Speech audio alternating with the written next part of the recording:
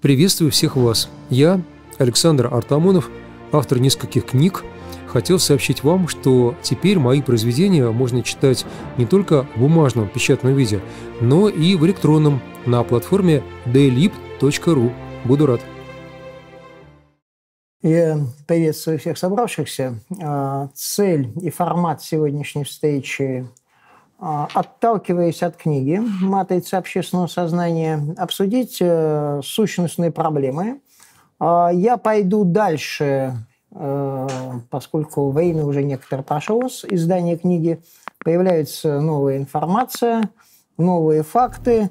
И в этой связи книга и вот э, такие в общем-то, наши встречи, они будут, в общем, как бы в, в совместной упаковке. Это не будет полным дублированием этой книги, хотя, понятно, те базовые концепты и положения будут освещаться. И прежде чем переходить к, собственно, изложению, э, несколько оговорок. Э, конечно, 22 год оказался пересечением некого принципиального по важности рубежа – а мир, как бы к этому кто ни относился, он стал другим. А обратного, в общем-то, пути уже нет. И в этой связи э, работа в парадигмах, которые обозначены были и которые воспроизводились до 22 года, они по-любому не работают. Оговорка номер два.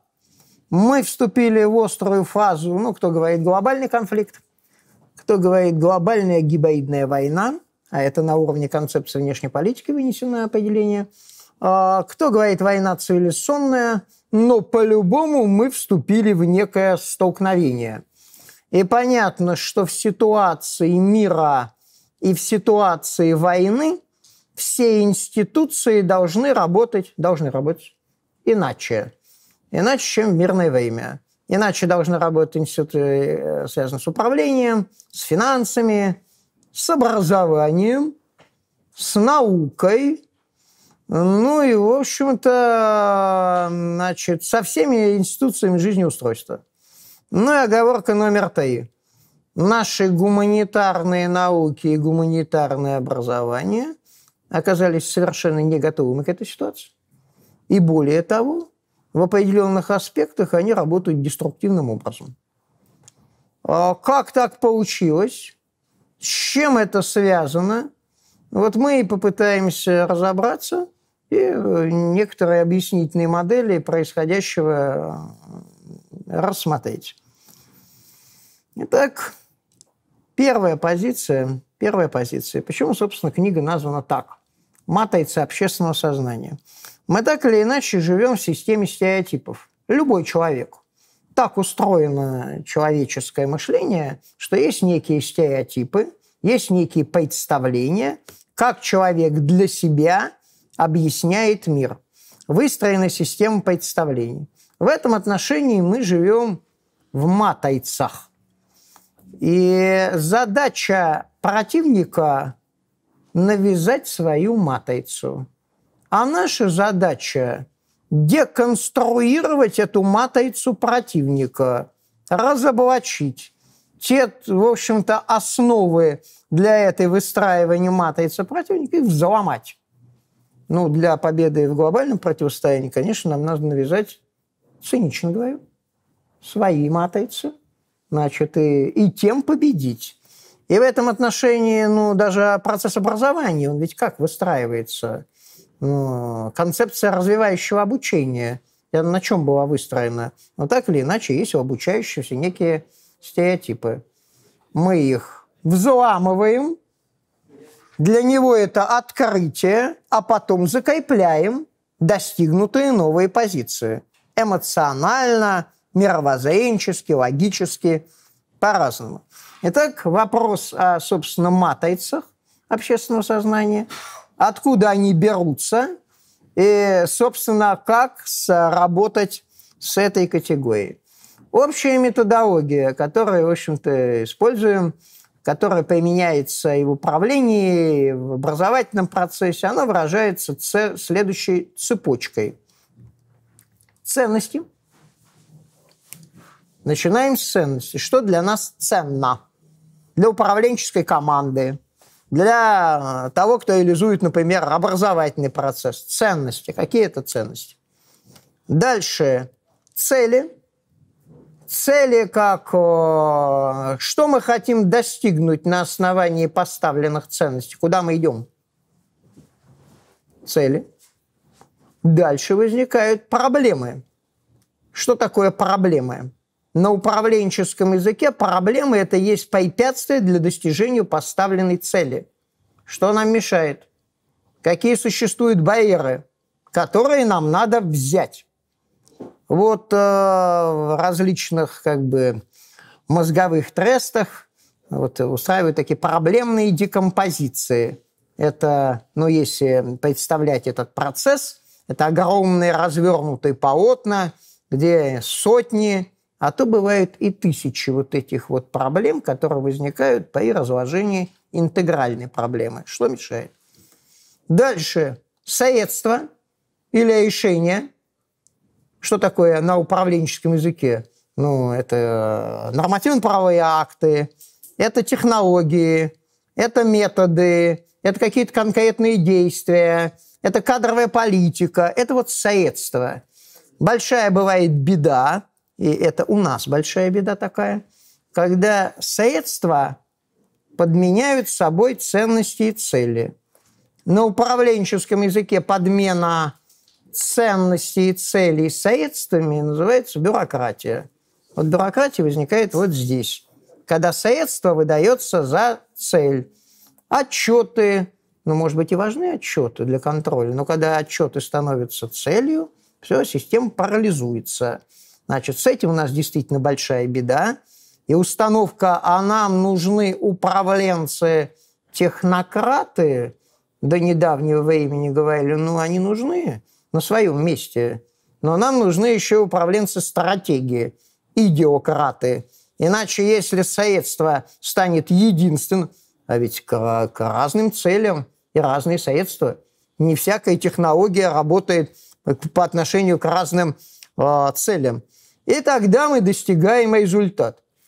Наш сегодняшний разговор о первом уровне, где ценности и цели. Там, где ценности и цели, это может быть названо как идеология. Идеология у нас, э, как бы, статья 13, она запрещает идеологию, но, говоря по-другому, запрещены ценности и цели. А, но не может государство существовать без ценности и цели. Почему? Ну, потому что вы так или иначе понимаете какое-то решение. Вы из чего-то ведь исходите. Когда это решение выбираете то, а не другое, по-любому присутствуют ценности. Но когда эти ценности не осмыслены, то это называется постидеология. Что такое постидеология? Чем она отличается от идеологии? Идеология, когда ценности осмыслены, вот 20 век, Советский Союз был и идеология, потому что осмысливали, куда идем, зачем, какие доводы приводили. А бывает постидеология, по принципу само, как само собой разумеющееся. Ничего нет само собой разумеющегося, ни одной позиции. Но постидеология нечто внедряет, как само собой разумеющееся. Это основание для системы внешнего управления. Ну, конечно же, демократия либеральная. Конечно же, рынок. Ну, кто ж, вы что, против рынка? Ну, конечно, рынок. А почему рынок? А почему демократия? А почему многое другое? И кто сказал, что это безальтернативно? То есть внедрена постидеология по принципу как нечто само собой разумеющееся, а на самом деле это э, на другом языке система внешнего управления. Если нет собственных смыслов и целей, пойдут ценности и цели, навязанные внешним субъектом. Ну, картинка эволюции войн. Ну, когда-то войны – это были столкновения боевых единиц, вооруженных групп. А, и, в общем-то, задача была уничтожить, физически нанести урон противнику. Конечно, и тогда использовались инструменты э, значит, э, воздействия на сознание противника. Это было, собственно, всегда. Но главная была задача победить в физическом смысле, уничтожить врага. Две армии сталкиваются, и задача, кто более героичен, у кого лучше полководцы, все решается на поле боя. Войны типа номер два – это уже войны систем. Здесь задача не столько поразить боевую силу противника, сколько систему разбалансировать противника. Вот войны 20 века – это уже войны систем. Наша победа в Великой Отечественной войне – это в том числе победа системы, которая существовала тогда в 20 веке. Ну и, наконец, третья эпоха – это эпоха когнитивных войн, где пространство войн уже это не поля сражений, не противостояние даже систем, хотя это тоже никто не отрицает, а это воздействие, это борьба за умы и сердца. И не только за умы и сердца, еще и тут сфера подсознания возникает. Войны когнитивные. Вот э, видимо понятие ментальные войны. Ну, мне более близко понятие когнитивные войны. Значит, поскольку не только о менталитете идет речь о ментальности, а, в общем-то, войны сознания, на уровне этих войн исчезает разграничение, собственно, где пространство войны, где пространство мира. Это, во-первых. Во-вторых, исчезает понятие мирное население, поскольку можно воздействовать на каждого. Нет мирного населения. И нет пространства, где нет войны. Потому что воздействуют современные как бы, интернет и прочие вещи, они охватывают всех. И вот мы перешли в эту стадию, когда хотим мы этого или не хотим, мы находимся в пространстве войны. Ну, представляется схематически это так. Это исследование у нас, и не у нас. Не у нас больше, причем раньше началось все это дело. Значит, войны боевых единиц, поражение живой силы противника, войны систем, поражение инфраструктур противника, информационно-психологические войны – это поражение воли противника. И, ну, кто думает, это конспирология, э, у американцев есть такая практика. Они периодически за прошествием срока давности рассекречивают некие документы. Ну, вот, в частности, документы несколько лет назад были рассекречены э, ЦРУ, э, начала 50-х. Ну, там понятие информационно-психологическая война используется по отношению к Советскому Союзу. Тогда была взята установка. Причем описывается никакого секрета. Это не конспирология, это данность. По меньшей мере, с начала 50-х годов, как там это воздействовать, ставили вопрос, а что делать, 51 год, методичка ЦРУ, что делать после а, того, как уйдет Сталин? В 51 году они. Знаете, очень удивительно, даже поразительно, э, совпадение почти полное э, методических рекомендаций ЦРУ и выступление Хрущева на 20-м съезде КПСС. Пока без вот этих вот э, рассуждений, что это могло быть, но мы фиксируем фактически вот этот план десталинизации, который США рассматривали как борьбу с противником, ну, по, по этим методическим разработкам фактически полностью осуществляется политика э, середины 50-х годов. Это информационно-психологические войны. Ну, еще можно как иллюстрацию сказать, знаете, э, в рамках э, культурной антропологии американской. А что такое вообще культурная антропология? Культурная антропология исходно это как управлять туземцами. Вот она возникла у нас сейчас тоже апеллирует. Давайте вот культурную антропологию. На самом деле это наука, как управлять туземцами. Значит, а как туземцами управлять? Можно жестко, уничтожение, резервация, а можно мягко. Вот концепция мягкой силы, Ная, она идет, восходит к культурной антропологии. Аккультурация. То есть как из туземца сделать белого ну, белого не по цвету кожи, а по таким же культурным нормам. Это колониальная наука, И она, в общем-то, работала и продолжает работать в этом духе. Когда говорят культурная антропология, ну, это колониальная наука, как управлять туземцами. А дальше они переносят эту науку, условно говоря, а как работать э, с другими странами. А, есть э, позиция такая а, три типа культуры. Вам культурная антропология еще 50-е годы. А, это аполлоническая, рациональная, дионисийская, чувственная. Они поддаются оккультурации, только одни за счет рассудка, первые, вторые за счет эмоционального включения. Есть культура параноидальные. Культура параноидальные – это те, которые живут образом врага. Ну, как вы думаете, к какой культуре относится Россия по их расчетам? Она не подлежит оккультурации. Она подлежит уничтожению. Так же, как уничтожались те индейцы, которых, вот, на которых был поставлен КС. Это вот истоки-то оттуда. Что интересно, вот в рамках концепции информационно-психологических войн э, была э, очень такая тема важная в культурной антропологии, разрабатывалась этнические страхи. Что у каждого этноса, каждого народа есть свой набор страхов. Он на подсознательном уровне. Он формируется за счет воспитания, за счет сказок, культурных кодов, много чего другой, истории. Он различный. И если знать топосы э, этнических страхов соответствующего общности, можно в панику ввести в любую общность, любой этнос. Даже не путем прямой пропаганды. Путем, в общем, как бы неких образов, значит, проговоров э, и прочих вещей. Очень интересные разработки. Они начались в 60-х, а в 70-х годах они очень были широко представлены.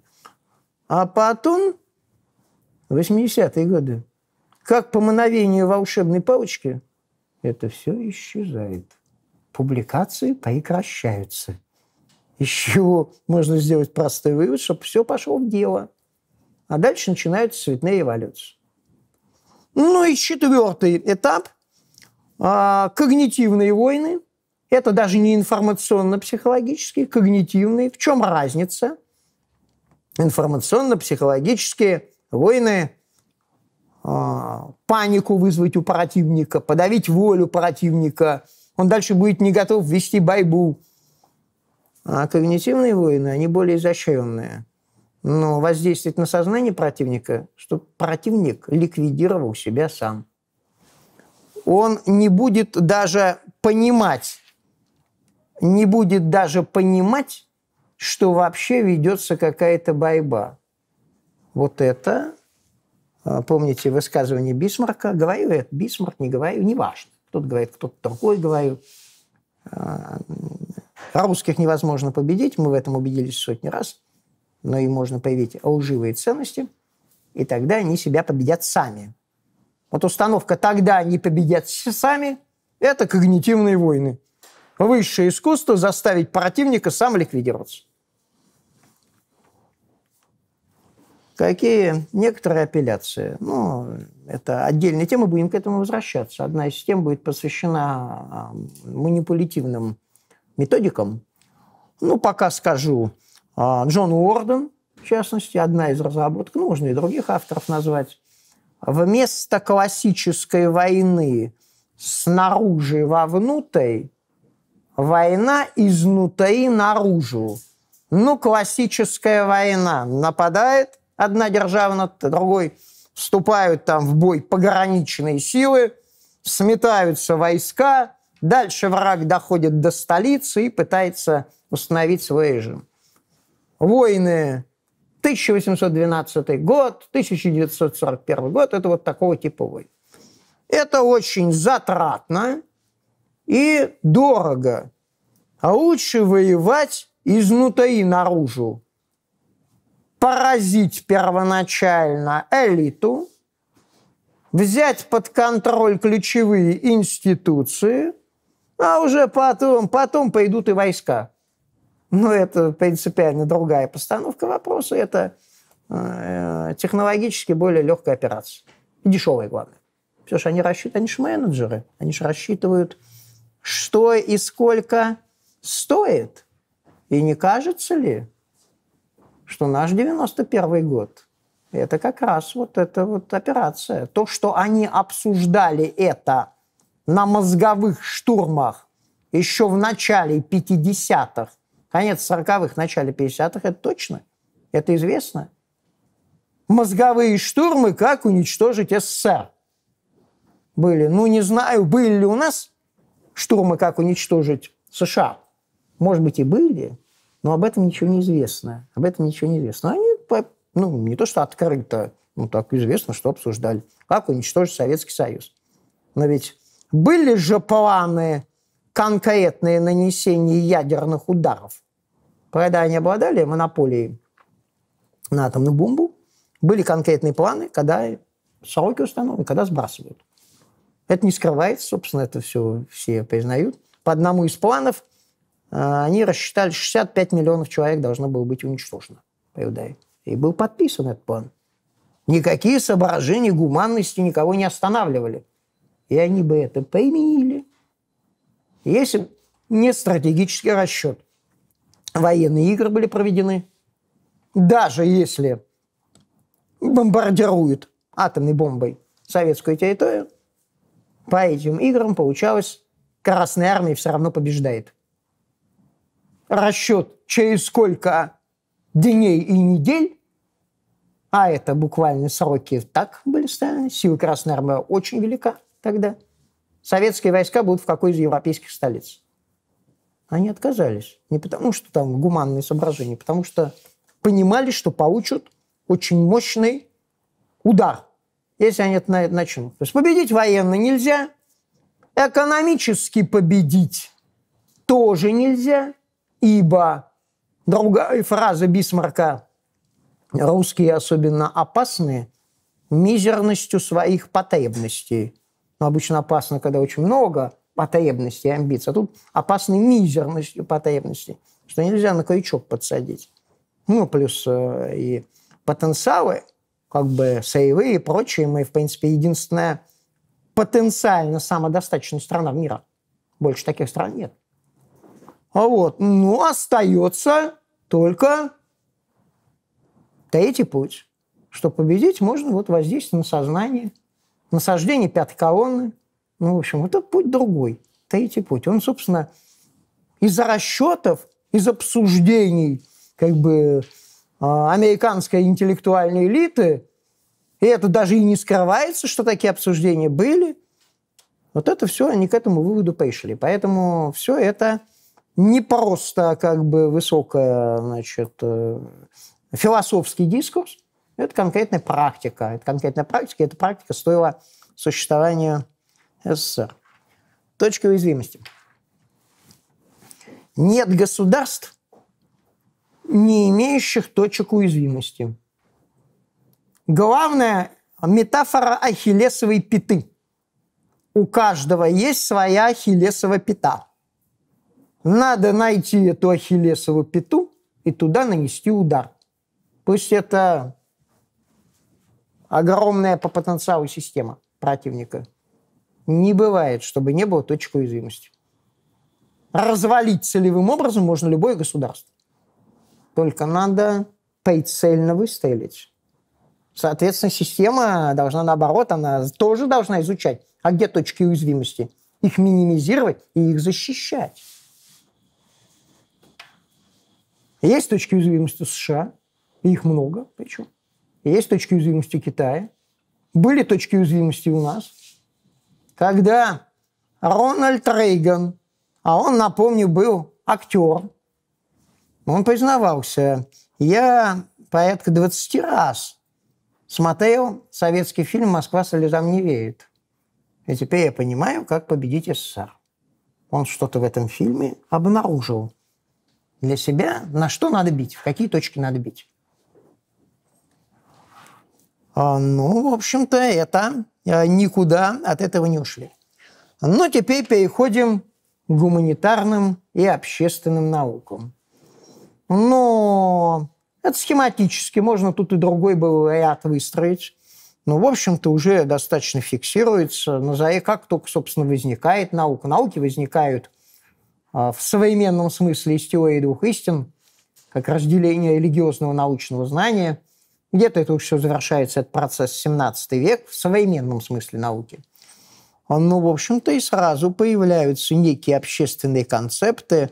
Ну, вот концепция восточной деспотии, позиция об отсталости Востока, просветительская позиция дикость, варварство, цивилизация, Мальтус с его демографическими войнами – вот интересно, что когда сопоставляешь выход соответствующих трудов, ну, они очень политически своевременны, так сказать. Все эти труды, вот начинается какая-то война, и тут прямо выходит соответствующий труд или трактат, который по большому счету оправдывает, легитимизирует ту или иную войну западная гуманитаистика исходно была на службе западного колониализма. И это не пропагандистский какой-то штамп, это действительно так. Вот когда возникает, ну точно там, колонизация Индии, и мы смотрим большой спектр, и тут труды появляются обосновывающие. 19 век. Это еще в большей степени усилилось. И та же, значит, э, колониальные наступления – и геополитика. А я напомню, Траут Маккиндер – это 1904 год, русско-японская война. И тут Россия провозглашается осью истории, Хартленд, точнее, но фактически совпадающий с Россией. А значит, надо англичанам, американцам поддержать Японию в этой войне, ибо Хартленд ведет борьбу не с Японией, а он ведет борьбу с мировым, с внешним полумесяцем, с атлантическими силами. Ну, вся эта, в общем-то, политика обосновывалась, соответственно, вот этими реальностями. Ну, одна из апелляций, одна из апелляций Чарльз Дарвин, знаете, меня в свое время, когда я впервые прочитал значит, происхождение человека, половой отбор происхождения человека, меня это работа по Тайсуа. В каком смысле по Тайсуа? Ну, она же была, входила в спектр советской рекомендуемой литературы. А там откровенный расизм. Он там не просто вот, э, расы, это разные, это в борьбе за существование разные видовые ответвления. Одни выше, другие ниже. Причем в жестких характеристиках. Значит, э, прям было удивительно, как это вообще могло быть допустимым. У нас причем работу обычно открываешь. Какая, какую работу? Какая главная работа Чарльза Дарвина? Главная работа Чарльза Дарвина – происхождение видов путем естественного отбора. А теперь я называю полное название работы, как оно звучит действительно. О происхождении видов путем естественного отбора или сохранении избранных рас в борьбе за жизнь. Ну, так оно звучит. Значит, и э, дарвинизм, он, в общем-то, тут есть и научная проблема. Чем, чем еще удивительно, ну ладно, хорошо, там увидели э, какие-то этически несоответствующие вещи, расизм, но ведь в научном плане там достаточно уязвимая вещь. Там какая главная проблема-то дарвинизма? То, что вот выделенные виды, а межвидовых переходных особей нет. Но Дарвин говорит, ну, 19 век, еще найдут. Ну, вот прошло уже сколько, 21 век, и ничего не нашли. Есть виды, а межвидовых переходов, если это так по Дарвину было бы, значит, было бы обнаружено, нет. Ну, то есть концепция странная, научно, эмпирически не подтверждается. Этический и мировоззренческий расизм, ну, в общем-то, у нас пока все, естественно, научные концепции на дарвинизме выстроены. И пока это, чтобы там пересматривать, никто это не собирается. Значит, ну, что интересно, вот эти работы Дарвина, как раз новая фаза прорыва англичан к колониальной политике, покорение Индии окончательно англичанами, и тут работы Дарвина, которые так и надо – это высшая миссия. Белые должны господствовать и доминировать. Дарвинизм об этом. Ну, конечно, там Дарвина использовали все по-разному. И либералы, и коммунисты, и нацисты. Все их использовали. Значит, брали свой аспект кому что было интересно. Ну, напомню, «Капитал» ведь Маркса был посвящен Дарвину. Ну и Гитлер тоже очень высоко ценил Дарвина. И Спенсер, либерал, тоже высоко ценил. Они все ценили, но разные вещи. Кто-то борьбу за существование брал, кто-то идею вот этого расовой иерархии брал. Ну вот это как пример, как работает, соответственно, наука. В 20 веке что изменилось? Наука тоже продолжала работать на политику, но она уже стала работать с опережением. Смотрите, что происходит. Холодная война, биполярный мир, две системы, которые противостоят друг другу. А что в интеллектуальном пространстве? А там совершенно другая модель. Концепция постиндустриализма – это не две системы, а это нечто вот постиндустриальный мир. Концепция конвергенции, ну, много разных концепций, которые... Это все в холодную войну они все выдвинуты были. Те, которые сегодня составляют багаж, это образы будущего, которые оказались, что это будущее проектируемое. Общественные науки сегодня не только вот фиксируют, они в 19-18 веке подверстывались под политику, фиксировали это, а в 20 веке они стали в значительной степени проектировать это будущее. Но я бы сослался на... Мы как-то это разберем отдельно, значит, не сегодня, поскольку это такая отдельная тема, а, это глобальные тренды ЦРУ. Раз в пять лет – это открытая вещь, такая аналитическая. Раз в пять лет американцы выходят с этими глобальными трендами, где дают прогнозы мира, как будет развиваться мир. Сценарные. Может мир пойти так, а может так. Но помимо всего прочего, это такой вброс в сознание, потому что ну, все привыкают. А вот там американские значит, э, ученые, аналитики такую проекцию мира. Это не только прогноз, но это и проектирование проектированием мира они фактически занялись уже в 20 веке, и это новая фаза. Но смотрите, что так называемые глобальные проблемы современности. Как это вот до недавнего времени? Понятно, 22 год поменял все, ну, как бы, ну, даже, так сказать, до, до 14 скорее, года. Значит, в чем там дискурс по поводу глобальных проблем современности? Какие угрозы? Терроризм, а как решать проблему терроризма? Ну, должна быть э, международная борьба против терроризма. Мир должен объединиться для подавления террористической угрозы. Если будет в это время, или, может быть, в следующий раз э, мы там посмотрели, динамика публикаций о терроризме и террористические акты. Вначале идет повышение динамики публикаций, а потом террористические акты. Ну, казалось бы, террористические акты, ответ – публикации. А тут нет. Вначале поднимается тема, а потом, значит, теракты. Это нечто другое. Это для чего-то нужна была эта тема глобальным игрокам. Ну и тема возникает, что ну, безопасность под угрозой. Надо несколько ограничить свободу. Безопасность, свобода в обмен на безопасность. Новое переселение народов.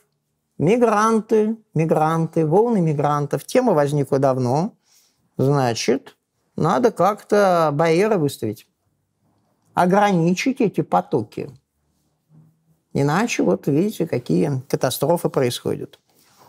Война цивилизаций. Хантингтон провозгласил о том, что цивилизации не могут сосуществовать. Они столкновение цивилизаций особенно западной исламской, но не только их, ну, значит, должен быть, чтобы вот это, к этой катастрофе не, не, мир не подошел, нужно что? Нужен международный арбитраж. Кто-то должен эти вопросы решать. Финансовый кризис, когда он горянул финансовый, ну, это тоже особая история. потому что выходили ведь работы, которые доказывали о том, что ну, не может быть. Все, кризисов не может быть. Нобелевские премии вручались с обоснованием того, что капитализм изжил кризисы. И вдруг 2008 год, нигде академическое на уровне так, альтернативного видения предсказывали, а академическая наука нигде не предсказала этот кризис. Ну, о чем стали говорить? Ну, а как с кризисом-то бороться? Ну, надо интегрировать финансы. Интеграция финансов. Национальные государства утрачивают свои функции, кризис национальных государств. Когда Обама еще вступал в президентское кресло, ему были доклады, что мир Висфальский заканчивается. Все, закончен. Национальных государств не будет, будет нечто другое. Это вот такие доклады э, окормляли его политику.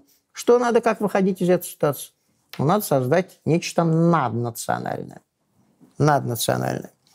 Катастрофический характер загрязнения окружающей среды. Сегодняшняя повестка, с которой активно выходит Демократическая партия США, они прямо из стратегии национальной безопасности американскую брать, это прямо вот, э, ну, помимо русской угрозы, тема, тема номер два, наверное. Экология.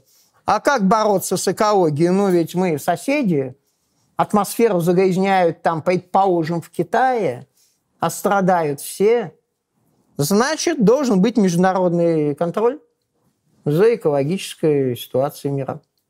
Э, коллективная экологическая безопасность. Перенаселение Земли, неконтролируемый прирост численности в странах периферии, давнишние, то есть 70-е годы.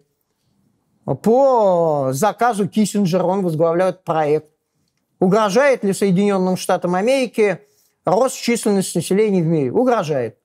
Поэтому опубликован. Меморандум 200 это называется. Значит, поэтому надо как-то регулировать.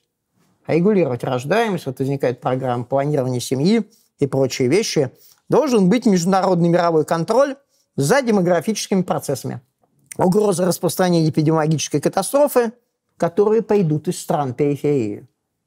Они несут, соответственно, эти угрозы, значит, ну, соответственно, надо взять под контроль они не справляются с этой с эпидемиологической обстановкой страны периферии и несут, вот, в общем-то, это заражение. Кстати, я вот вспомнил про э, глобальные тренды ЦРУ, э, где развернуто 2012 год. Все, тут никакой конспирологии, все опубликовано.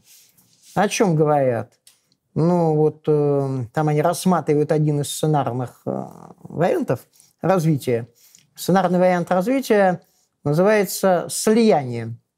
Слияние, что человечество идет, вот должно пойти, как решить глобальные проблемы, только путем слияния. Но человечество не готово пока к этому. Значит, все это, вот формируется такая повестка. К чему это подводит? Подводит к одной точке. Вот аргумент, аргумент, аргумент, аргумент. Под что? Ну, очевидно нужен институт, который будет решать эти глобальные проблемы. Это называется мировое правительство. Ну, под это. Вся гуманитаристика общественной науки под это. Без мирового правительства не справится человечеству со всеми этими вызовами. Теперь к нашей, к нашей истории. К нашей истории. 80-е годы Андропов произносит фразу «Мы не знаем общества, в котором живем». Удивительное дело, которое кого-то поразило в советском обществе. Как это так? Столько десятилетий советской власти, работали там как бы, всякие институции, а тут мы, оказывается, не знаем, что же, за, что же за работа была такая этих институций. Ну, действительно, значит, э, столкнулись с такой ситуацией. Конечно, позднесоветское обществоведение погрузилось в глубокую схоластику. Этого не было на начальном периоде развития Советского Союза. Наоборот, интеллектуально опережали. И опережали концептуально и теоретически. Это отражалось в том, что борьбу за умы и сердца на восходящей стадии советского проекта выигрывали. Мировая интеллектуальная элита, ну, все были симпатизирующие СССР. Ну, доминировало это. Доминировало. До какого-то периода, на каком-то периоде останавливаемся, начинаем воспроизводить схоластику, и советское обществоведение к началу 80-х годов уже никаким образом не объясняло то, что происходит в мире, давала неадекватную картину то, что имеет место в Советском Союзе, но, в общем-то, была методологически нефункциональна. Я бы даже не сказал, что это был марксизм, потому что от Маркса существенно отступили в эту схоластическую сторону, превратили в нечто вульгарно упрощенное, в нечто иное. Ну, так было проще, ну, достаточно там с бытием определяет сознание, ну, наверное, наиболее характерные такой вульгарность, которую, в общем-то, как бы а, значит, перетолковали, перетолковали в эту сторону Маркса. Ну, многие говорят о том, что ну, было такой феномен тоже отражающий. Было официальное знание, как управлять. Оно не годилось никуда. А была устная, которая не могло быть выражена, потому что она противоречила схоластике, а это как бы учили вот э, непосредственно, из уст в уста, так сказать. И когда поисеквались эти э, передачи из уст в уста, эту информацию, все, ну, соответственно, и как бы никто не знает, как управлять. Ну, например, как управлять в чрезвычайных ситуациях. Ну, с, э, приходят сейчас в вузы, в том числе ведущие, многие представители ответственных органов, говорят, ну, а где бы взять, э, как вот э, в ситуации форс-мажора выстраивать управление? А никто не знает. Потому что советская модель работала на форс-мажор. Если завтра война, что надо делать? Один, два, три. А менеджмент – это не об этом. Он не, не работает. Он, это максимизация прибыли по минимизации издержек. Итак, первая часть э, с, схоластическая, позднесоветского обществоведения было никуда, никуда не годилось. Начало 80-х годов. Одновременно вторая часть, латентная, Зачастую те же самые люди, которые публиковались и несли позднесоветскую схоластику, они при этом начинали как бы все больше погружаться в западное обществоведение. На полузакрытых, закрытых совещаниях, клубах, где-то это еще с конца 60-х годов начинаются обсуждаться вот эти западные обществоведческие концепты. Так вот, эти концепты создавались той стороной. Эти концепты в значительной степени они создавались в условиях холодной войны и были заточены в том числе... А какая задача-то гуманитаристики, обществоведения, если она работает на государство? Ну, с своей стороны обеспечить победу этого государства. Ну, так вообще должны работать. Ну, так вот. Значит, э, первая часть нефункциональная, вторая часть направленная, по большому счету, на подрыв и уничтожение СССР. Когда открываются шлюзы, а они были открыты второй половине 80-х годов, первая часть сразу уходит, становится, оказывается недискутабельной. Вторая откровенно переходит на позицию противника. Какова роль э, гуманитарных обществоведческих наук в уничтожении СССР? Большая можно сказать, большая. Значит, потому что все эти стратегические ловушки, они же были подсказаны, выдвинуты именно там. Наука. Принимайте решение. Как там, как без рынка. Но, значит, э, только один пример приведу. Но ведь э, были понятно, что надо было проводить некие реформы.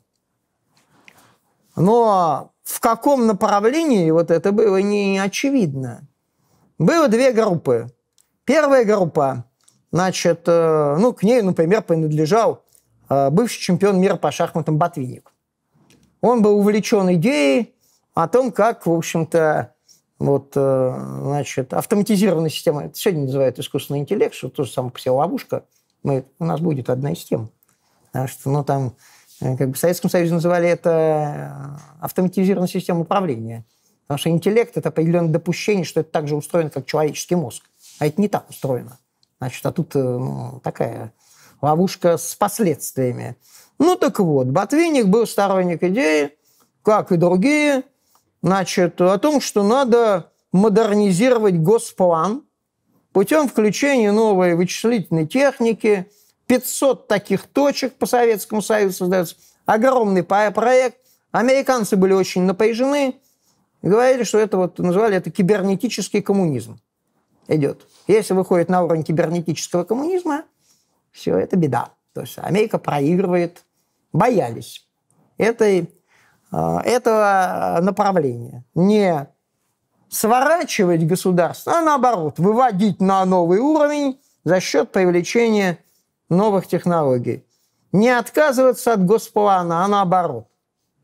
Совершенствовать его. Действительно, кто сегодня говорит, что госплан – это одно из величайших, если наш вклад в мировую, наш вклад в мировую политологию, если называть вещи своими именами, главный, это система советов. Ну, как бы американ... западное разделение властей, вот это мы предложили миру.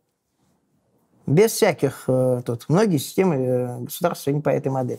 А наш вклад в мировую экономическую мысль – госплан. Никто ничего такого подобного э, не создал. Сегодня, когда задаешь вопросы специалистам, говорят, сейчас не можем создать. Ну, во-первых, мы даже не знаем, как рассчитывать. Значит, ушли специалисты. Сегодня-то по ситуации значит, всех этих возможностей работы с большими объемами данных специалистов, специалистов, вот это был первый путь. А второй был путь, вот рыночный. Аганбегян, Абалкин, вот эта группа, которая говорит, надо идти вот в рынок. В итоге первая группа была разогнана, их перспективы и предложения сняты, и осталась одна безальтернативная группа рыночников. И мы пошли вот туда, в рынок. Хотя нигде в мире, это большая архаика, как нобелевские лауреаты писали во главе с Стиглицем, было два письма, одной Горбачева, другой Ельцину. Никакого рынка нет. Что вы? Это большая иллюзия. Нет на Западе рынка, как вы его себе представляете в общем, пошли в некое направление, разгосударствление, и это все усугубило, э, усугубило ситуацию. Ну вот э, как э, ревизия советского обществоведения. Я не хочу сказать, что какие-то позиции, тут не об этом идет речь, о том, что позиции были вот правильные, сменились на неправильные, а говорю о том, что смена произошла в очень быстрый период, и которая а, такой концептуальной смены государство не выдержало. Плановая экономика, общенародная собственность заменена рыночной экономикой, э, смешанной формой собственности. Конец еще 80-х годов. То есть и частная, и государственная, всякое. Это еще Советский Союз существует. Неизбежность коммунизма – концепция конвергенции. Пора завязывать противостояние, конвергенция, взять лучшее – от э, коммунизма, от э, социализма и капитализма. Классовая борьба – основа советского обществоведения. Новое мышление провозглашает Горбачев, суть которого нет никакой классовой борьбы, и идея толерантности. Толерантности, ну, кто же? Так она сейчас у нас во всех программах сидит, этот концепт толерантности. Любой РПД открываешь рабочие программы, дисциплины, там везде вот этот концепт толерантности. Почему? Потому что он в стандартах есть. Поскольку, ну, если вы хотите сказать дружба народов, так и скажите, дружба народов. Толерантность – это же о другом. Что надо быть терпимым к злу. Надо быть терпимым ко всему. То есть вместо классовой борьбы – толерантность. Вместо трактовки истории от побед к победе – история от преступлений к преступлению. Черные страницы истории воспроизводимы. Вместо советской модели государственной, кстати, социологические опросы – показывают, э, когда народ задает вопрос, а вы за какую экономику? А, рыночную или плановую? Говорят, мы за плановую. Подавляющее большинство. А вы за какую политическую модель? За систему разделения властей, ту модель, которая сейчас у нас, а так формулируется. Значит, или вы за систему советов? Говорят, за систему советов. Народ-то, в общем-то, как бы симпатизирует. Хотя открываем наше обществознание, нет альтернативы рынку, нет альтернативы разделению властей. Ну, в общем, эта смена произошла. Вместо позиции кризис буржуазного общества формула по опыту цивилиз... всех цивилизованных стран. Сама по себе формулировка тоже показательная, что есть якобы, получается, цивилизованные страны, а есть страны не цивилизованные. А, ну, то, что это все носило характер политического проекта, ну, только два свидетельства. Первое свидетельство Анатолия Борисовича Чубайса, когда вот, ну, эти письма адресуются, значит, э, э, Нобелевских лауреатов, э, Горбачеву, потом Ельцину, говорят, что вы вообще делаете? Значит, вы какой-то, ну, странный у вас экономическая рецептура. Так не делается, не проводится. Обвал цен, значит, э, э, вот это как невыполнение социальных обязательств, э, такая бешеный темп приватизации, они все это с разных позиций, Нобелевского лауреата, два письма, они это осуждают. Что ответил Чубайс? Да они там на Западе вообще очень плохо понимают, что мы делаем, эти Нобелевские лауреаты мы вколачивали последний гвоздь в крышку гроба коммунизма. Они пытались какие-то экономические реформы провести. Вот что такое было. А второе свидетельство – это Александра Яковлева, которого называли прораб перестройки.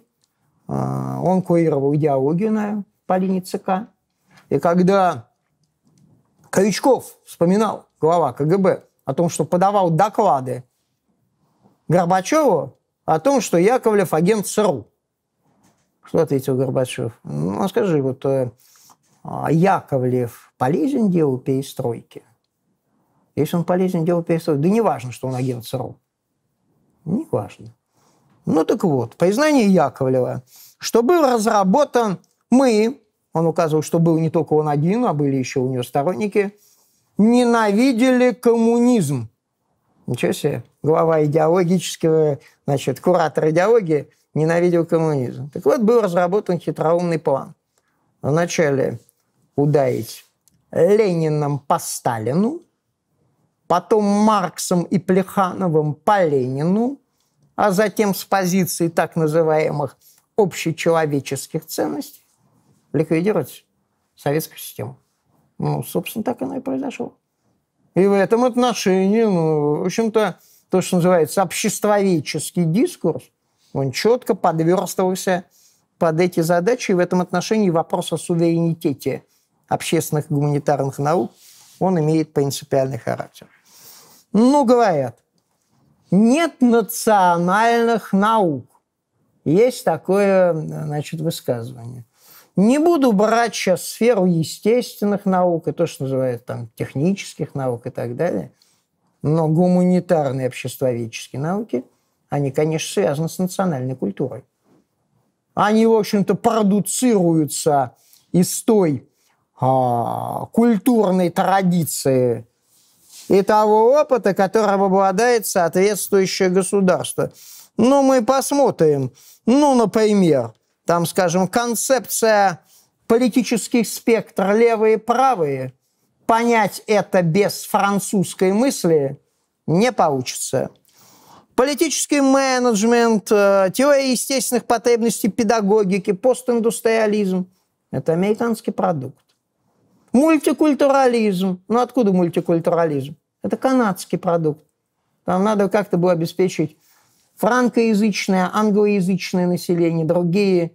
В Канаде это срабатывало, где-то нет. Теория элит, если мы посмотрим, ну, это Муссолини. Она сейчас у нас везде распространилась, но все эти мыслители, они были вокруг Муссолини. И все это подверстывалось под идею корпоративного государства. Ну, возникает вопрос, то есть, оказывается, э, в общем-то, общественные науки имеют национальные основы. А если это так, ну, значит, возникает вопрос, а где наши? Где наши национальные науки сегодня? Именно опирающиеся на российскую цивилизационную традицию. У Джеффа Исакса. Джефф Исакс – это был а, первый советник Гайдар Гайдаром, но вот э, реформа шоковой терапии, это, прежде всего, Джеффри Сакс, как такой авторитет. Он неолиберал, монетаист, где-то уже проводил значит, эти эксперименты. А по прошествии лет он признался в отношении этих реформ 90-х. Вот его высказывание. Мы положили больного, то есть Россию, на операционный стол, вскрыли ему грудную клетку, а у нее оказалась другая анатомия. Что сказал Джеффри Секс? Ну, сама по себе метафора, так еще та. Вскрыли грудную клетку. Эксперимент такая подобранная. Но главное, в России оказалась другая анатомия. Это свидетельство противника. А возникает вопрос, а где, в общем-то, наши труды фундаментальные, взятые на управленческий уровень, которые исходят из анатомии России, где те курсы, программы, изучающие анатомию России. Пример поведу. Я являюсь деканом в одном из вузов. ВУЗ имеет давнюю педагогическую историю. И ВУЗ претендовал на то, чтобы получить госзадание на разработку а, методик внедрения традиционных ценностей в образовательный процесс в школе. Ну, казалось бы, очевидная вещь, правильная. Традиционные ценности, провозглашенные на уровне президента. Сейчас все эти образовать, ну, методики бы. Хорошо, как это все внедрять в разных предметах детям. Минпрос поддержал. Русская православная церковь активно поддержала. Прямо и благословила на эту задачу. А дальше оказалось маленький такой шаг. Он, экспертиза Академии наук.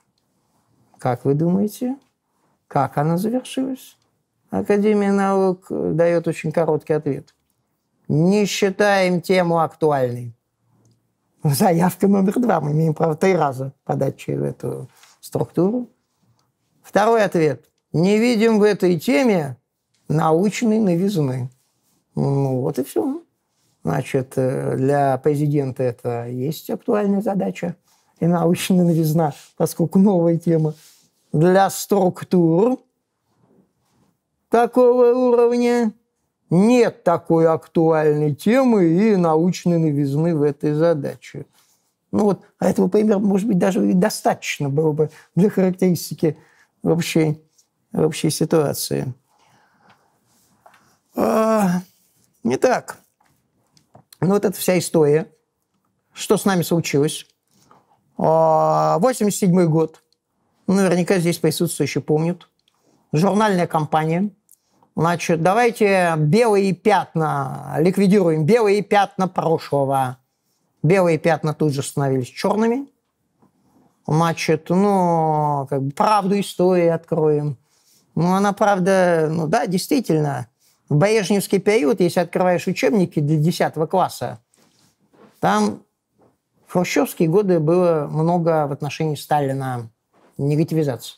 А Брежневские пошли по пути вообще не упоминать. Почему? Ну, как бы какая-то логика в этом была. Какая-то. В Испании это она сыграла такая роль. Логика, они исходили из того, ну, гражданская война, франкисты, республиканцы, все сводят счеты – Давайте просто не вспоминать ее. Гражданская политика забвения. Ну, в Испании они действительно так сыграли. Но у нас это ни к чему хорошему не привело, потому что не определились позиции, а в итоге вот когда стали эти белые пятна, как бы белые пятна, а действительно политику забвения расчищать, значит, они превращаются в черные. А дальше черное пятно распространяется. Сначала брежневизм, сталинизм, потом вся советская история, потом вся история России – а потом что? Остается только самоликвидация, потому что как жить, если все прошлое – это черное пятно. Для социальной психологи говорят, для тех людей, для многих людей, а, находившихся уже в возрасте, а, вторая половина 80-х годов была огромная психологическая травма. Была экономическая шоковая терапия, но была культурная шоковая терапия. Вот эта культурная шоковая терапия она, в общем-то, вот нанесла такой удар. А дальше, если не на что опираться, все прошлое черное, наши эти как бы обществоведения, мы не знали общество, в котором живем, нефункционально, но мы утрачиваем ценностный суверенитет. Отказываемся. А научите-ка нас, выдающиеся ученые из-за рубежа. Утрата ценностного суверенитета приводит к утрате суверенитета политического. Дальше гибель Советского Союза. Дальше предполагаемый, пролонгируемый из этого сценария гибель России. И она должна была произойти по всем этим сценарным прогнозам. Ну, опять-таки, апеллирую глобальным трендам ЦРУ. В начале еще 2000-х годов очередной доклад, где они 8 или 9 государств России распадается. Их прогноз – России единой не будет. Что этому помешало? Ну, мешало, прежде всего. Они не знали единственное, как решить проблему с ядерным оружием. Ну, как бы, значит, э, распад России, а как бы, а вдруг это ядерное оружие окажется в руках каких-то неконтролируемых групп. Но тогда это взорвут планету. Этого боялись и решили это несколько отсрочить. Но известная вещь, э, Беловежское соглашение, э, Ельцин, Кравчук, Шушкевич, Ельцин звонит Бушу-старшему. Ну, многие говорят о том, что вот он, ну как он, не позвонил Горбачеву, позвонил Бушу. Это действительно так. Но не это главное. А главное, что он зачитал. И что он Бушу сообщил. Бушу, стенограмма есть, Бушу было некогда. Он не хотел разговаривать, он чем-то был занят. Но Ельцин настаивал. Можно я прочитаю только одну статью нашего соглашения? И он зачитал одну статью. Беловежское соглашение все опубликовано. Статья номер 6 – это ядерное разоружение под международным контролем. Значит, планировали в какой-то перспективе эту последнюю составляющую суверенитета убрать. Ну, что-то пошло не так, как бы по разным причинам. Затянулся процесс, чудо, может быть, случилось.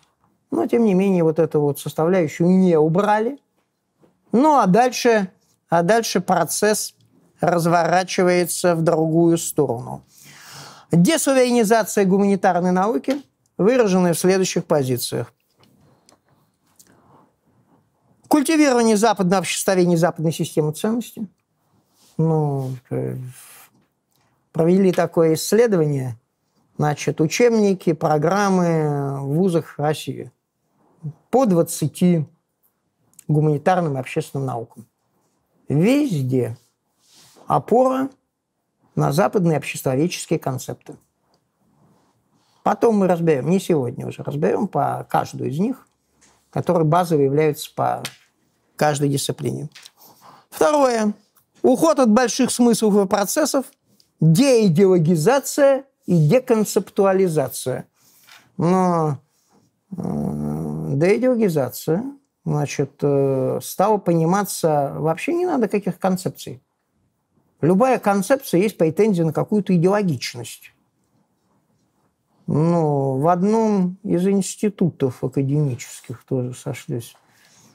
А, значит, э, ну, позиция такая. Разрабатывается некий план работ. Значит, соответственно, обосновывается тема, исследовательская тема. Что говорят коллеги? Да что? Какие концепции? Модели тут используете, теории. Что вы? Мы моделями не занимаемся. А чем вы занимаетесь? Мы в архивы ходим и описываем, что там взято. Ну, возникает вопрос. Ну, наверное, понятно, что архивы очень важны. Но это же к чему-то должно привести на уровне концептуальном. Нет, от этого полностью отказались. Это в этом увидели претензию на идеологию, а противник-то не отказывается. У противника этим матается достаточно четко. Ну, чтобы вот это собрание всех этих, как бы матается, Ричард Пайпс, Россия по старом режиме, прямо он все эти фобии, значит, именно концептуально выведенные. Третья позиция. Разрушение ЦО, акцент на частном и индивидуальном, фрагментаризации. Знаете, еще один пример. Коллеги сделали очень важное исследование. Ну, такой был инициативный проект, они задались вопросом, это было опубликовано некоторое время назад э, в журнале «Методика преподавания истории». Э, ну, чисто такая методическая разработка, без таких э, претензий на какую-то концептуальность, но важная. Немцы, нацисты на оккупированных территориях. Ведь школы функционировали, какие-то были закрыты, какие-то функционировали. Вопрос, а что там в школах-то преподавали на оккупированных территориях? Понятно, что нацисты ставили задачу уничтожения противника. Ничего хорошего они там нести не могли. Особенно в гуманитарном и обществоведческом. Может, вообще не было. Нет, она была. А, два было этапа. Первый этап – это, ну, позиция такая. В истории России было два компонента. Одно хорошее, другое плохое. Там-то они у себя преподносили дело так, что ничего хорошего нет. Это унтерменши, и, в общем-то, все негатив. А здесь, на оккупированных территориях, два компонента.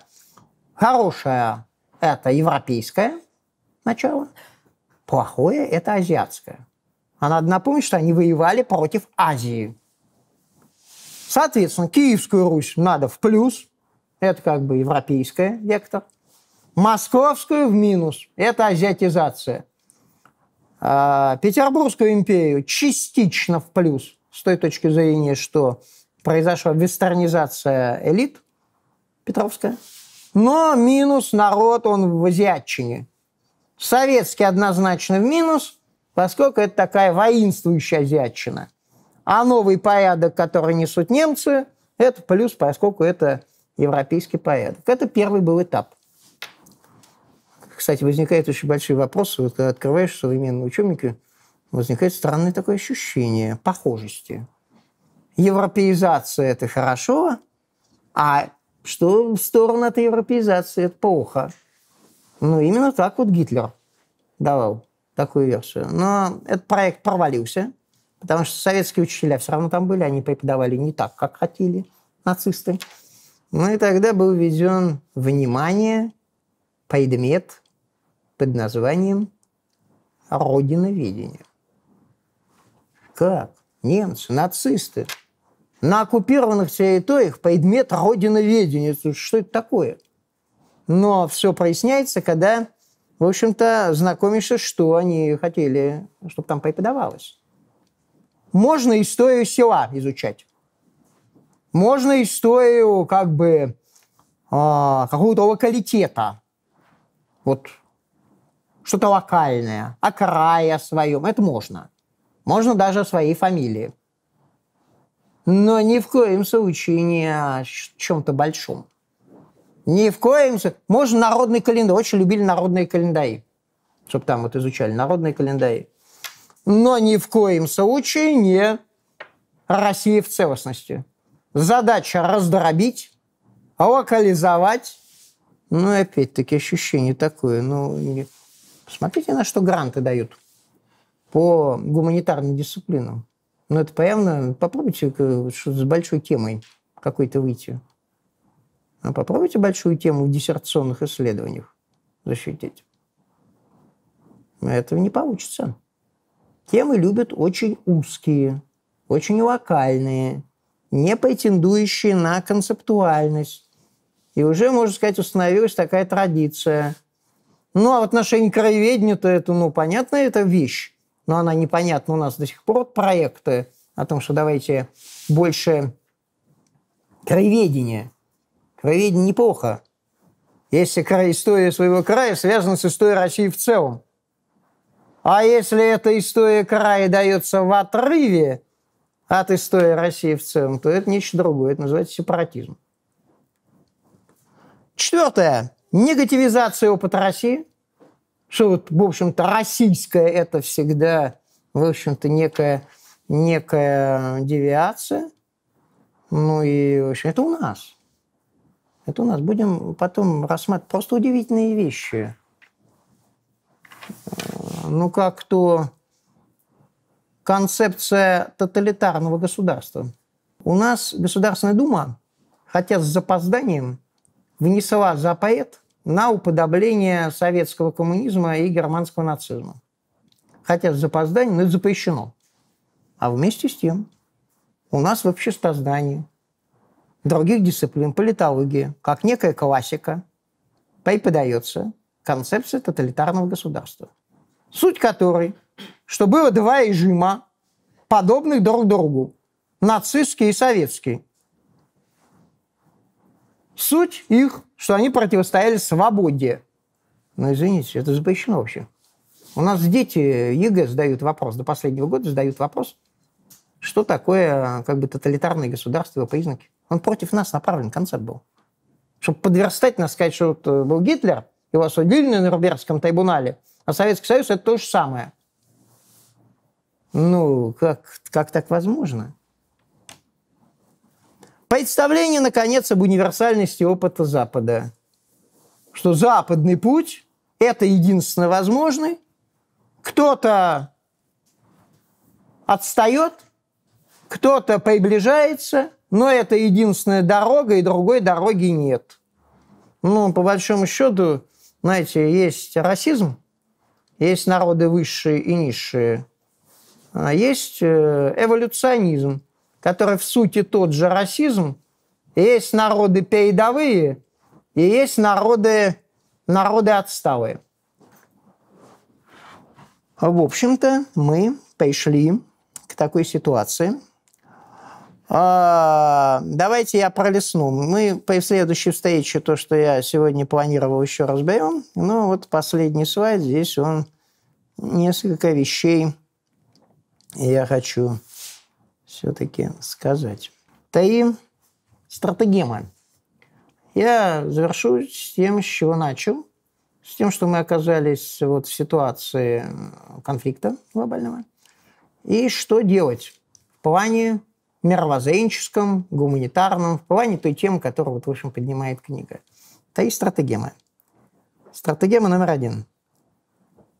Начну с того, что нельзя делать, но, к сожалению, так делали до последнего времени. Первое.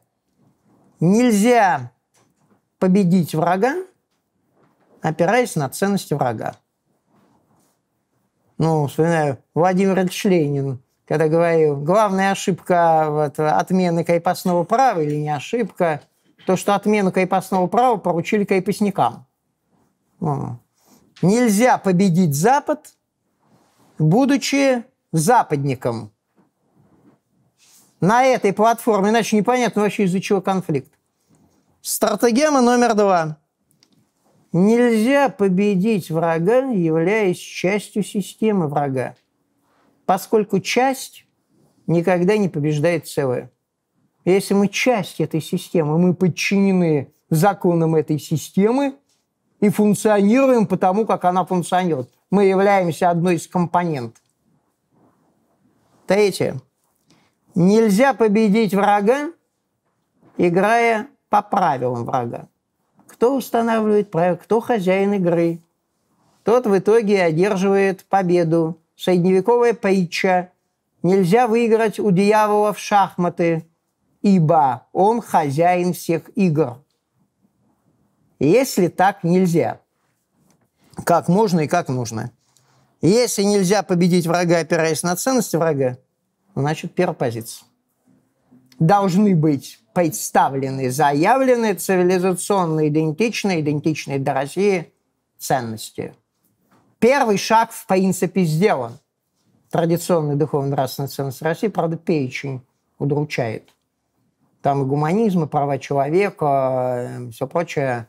И много чего другого нет, как, например, правды или любви, например. А, итак, первое, значит, надо идентичные ценности. Второе, если нельзя победить врага, являясь частью системы врага, ну, значит, надо выстраивать свою систему. Россия центричную систему. А уже кто готов к нам войти, выстраивать вокруг себя этот альтернативный мир. Тем более, что у кого у кого Россия потенциалов для того, чтобы выстроить, может быть, у единственной пока – потенциалы такие исходные существуют. В концептуальном плане вот она заявка. Россия есть отдельная цивилизация. Ведь что из этого? Из этого очень много чего следует. Если Россия отдельная цивилизация, нам ваши универсальности вообще не нужны. Мы их отрицаем. У нас свои законы, свои принципы и идеалы. Ведь это следует. Хотя сейчас пытаются подверстать, президент сказал, государство, цивилизацию. Ну, в общем-то, как бы, так сказать, носители либеральных идей пытаются свою эту либеральщину туда, в общем-то, под и под государство цивилизацию воткнуть. Третье. Значит, если нельзя победить врага, э, играя по правилам врага, ну, тут-то вот возникает запрос на идентичное российское обществоведение. На идентичные, вот откуда правила это выстекают? Из идентичных для нас наук. Отсюда возникает вопрос о ревизии всего того, что преподается, то, что является у нас сегодня как бы ядро составляет нашей гуманитаристики. О, о том, как значит, по каждой конкретной науке, какие, собственно, значит, установки и доминирующие позиции, такую деконструкцию – а, давайте в следующий раз проведем акцентированно. А на этом я хотел бы поблагодарить за внимание. Спасибо. Приветствую всех вас. Я, Александр Артамонов, автор нескольких книг, хотел сообщить вам, что теперь мои произведения можно читать не только в бумажном печатном виде, но и в электронном на платформе dailib.ru. Буду рад.